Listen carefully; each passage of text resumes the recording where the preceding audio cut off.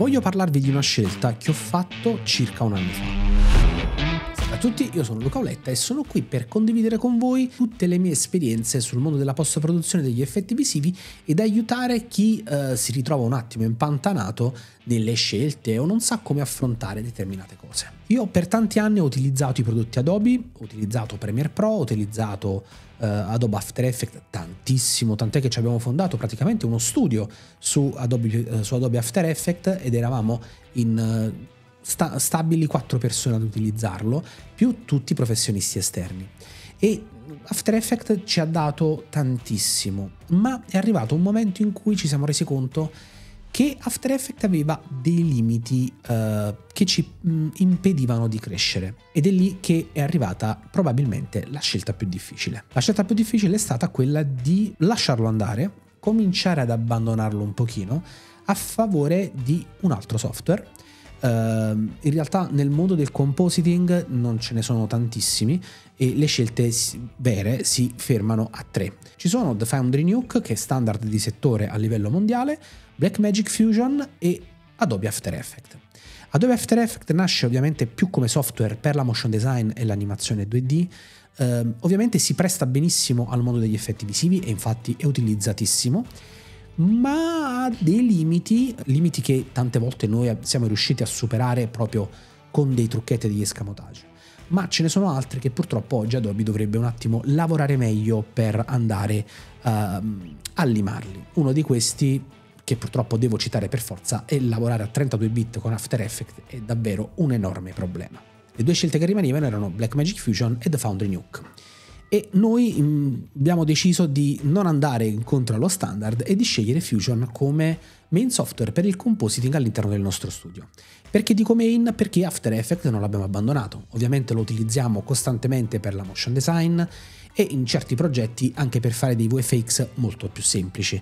Per tutte le cose un pochino più complicate e perché poi tra le altre cose abbiamo spostato parte del mondo della mm, post-produzione generale da Premiere Pro a DaVinci è ovviamente più facile l'interscambio dei file se siamo all'interno dello stesso software.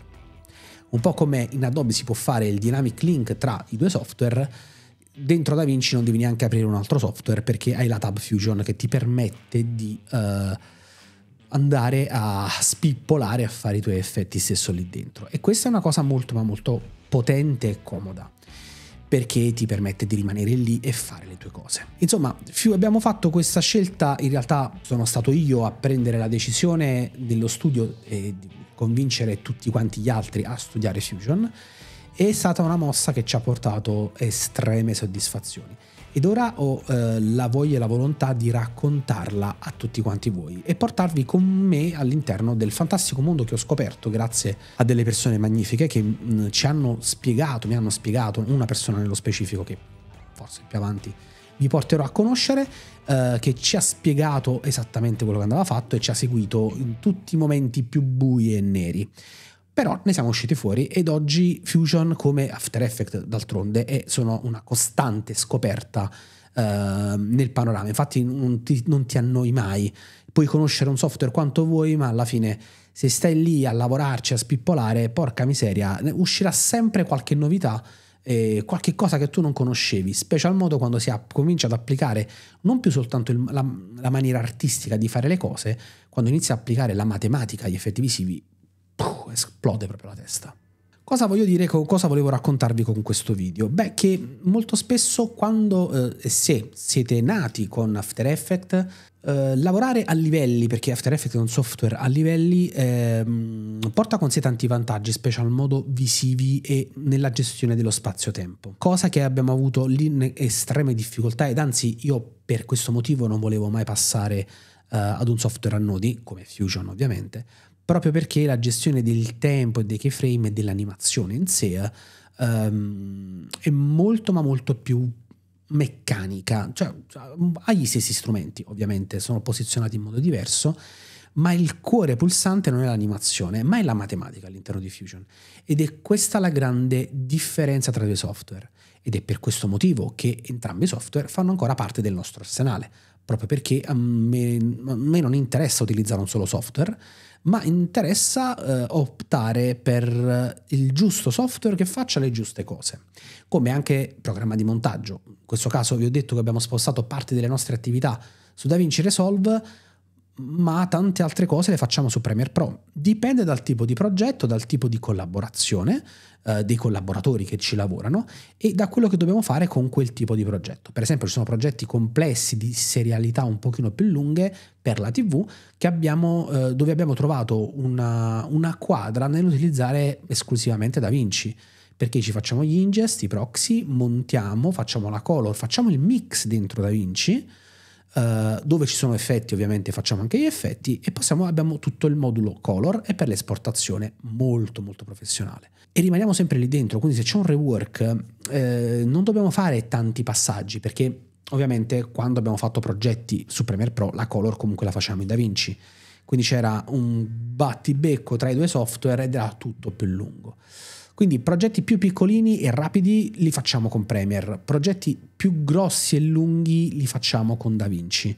Uh, non per questo Premiere non sia all'altezza, anzi io adesso ultimamente abbiamo lavorato ad alcune serie importantissime che sono state montate con Premiere Pro e sono contento che non sia soltanto più Avid il, l'unico software di montaggio, ma ormai Premiere, DaVinci hanno preso il loro piccolo posto all'interno della cerchia e comunque abbiano il loro da dire. Perché?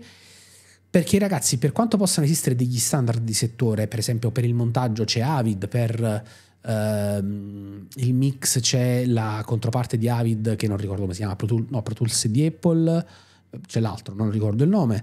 Eh, per il compositing c'è, mh, mm, c'è Nuke, che è lo standard di settore, ma sono standard perché sono utilizzati dalla maggior parte e ovviamente hanno il motivo per essere standard, perché hanno una grande potenzialità di programmazione e quant'altro.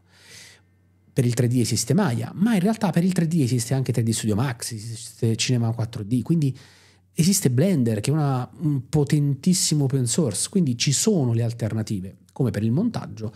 L'importante tanto, molto spesso è non pensare troppo alla tecnica, ma pensare anche al contenuto e soprattutto alla parte artistica. E quindi il mezzo sostanzialmente arriva dopo. Nel nostro caso noi abbiamo fatto una scelta tecnica di passare per gli effetti visivi da After a Nuke per un discorso prettamente tecnico e matematico, eh, proprio la matematica applicata ai pixel. Fusion è molto più performante di After Effects sotto questo punto di vista, ma è meno performante sotto il punto di vista artistico. Per, que- per questo quando c'è da fare qualcosa di più artistico, lo facciamo ancora in After Effects. Insomma, questa era soltanto una chiacchiera per raccontarvi un piccolo cambiamento epocale che è avvenuto nella mia vita lavorativa perché questo è stato un piccolo grande terremoto. Eh, lavorare costantemente con due software, ci sono stati progetti che, che mh, eh, facevamo, il nostro team faceva contemporaneamente in After e in Fusion perché doveva imparare, però dovevamo consegnare contemporaneamente, quindi se non ce la facevamo a farlo in Fusion lo facevamo anche in After e così lo potevamo consegnare. Passato circa un anno eh, posso dirvi che è stato molto piacevole e divertente riuscire a imparare un altro software e soprattutto un'altra mentalità, perché lavorare a nodi è tutta un'altra mentalità. Insomma, io sono Luca Oletta, vi ringrazio di essere arrivati fino a questo punto nel video. Se avete delle domande, ovviamente potete pormele qui sotto, mi trovate anche su Instagram e eh, se avete delle idee o dei consigli per dei video che vorreste vedere o vorreste capire delle cose specifiche, mi raccomando scrivetemele qui sotto e venite a trovarmi, ovviamente trovate tutti i miei link. Cos'altro dirvi? Io vi ringrazio e ci vediamo al prossimo video.